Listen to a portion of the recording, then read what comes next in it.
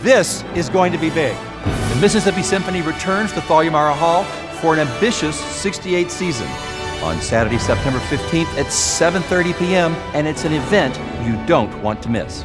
It's Bravo One, a performance of Mahler's monumental Fifth Symphony, and a tour de force of music, emotion, and power. There's no doubt about it. This is going to be bold. This is going to be brilliant. This is going to be big. So get your tickets today